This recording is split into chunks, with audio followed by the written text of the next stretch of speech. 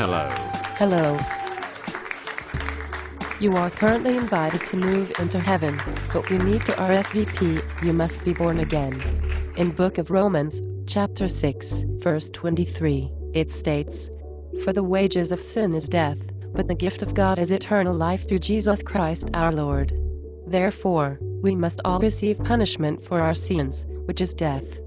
None of us is perfect, however, and knowing this, our Heavenly Father, who came down here as Jesus Christ, lived a perfect life, without sin, and took our punishment. He died in our place, just for us because he loves us.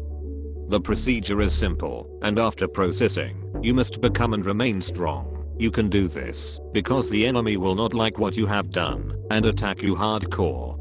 First, you must believe in your heart that Jesus, who's God Himself, came down here and took our punishment upon Himself. He died on the cross and rose on the third day to prove He's God. So, with that, please say this out loud. Dear Lord Jesus, I repent of my sins. Thank you for dying for my sins.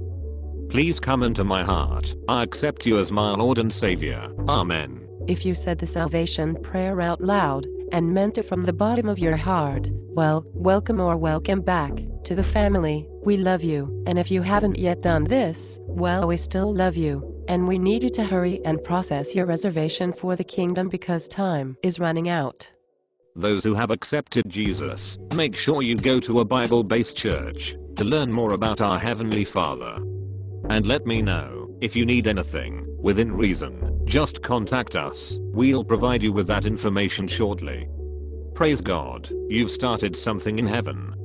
Amen. You may contact us by the informaton on the screen. Please inform us that you have given your life to Jesus Christ, because you will need God more now than you will ever need anybody. We in the body of Jesus Christ are here for you as well. Ask God, especially on some questions you may have. He will be more than happy that you did.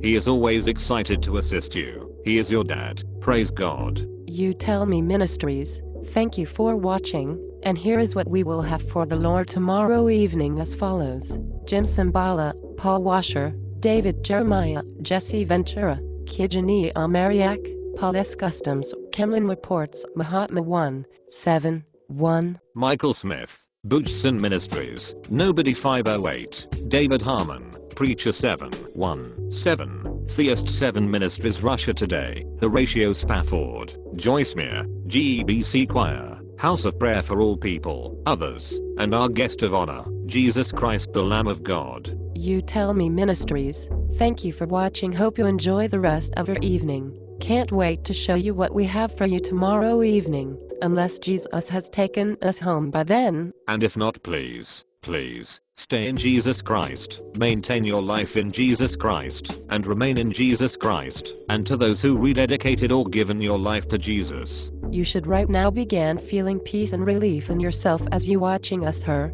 Don't forget about Girlfriends Pray Conference call every Monday through Friday at 7 a.m.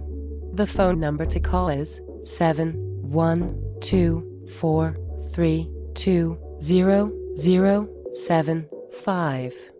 The access code is 128845.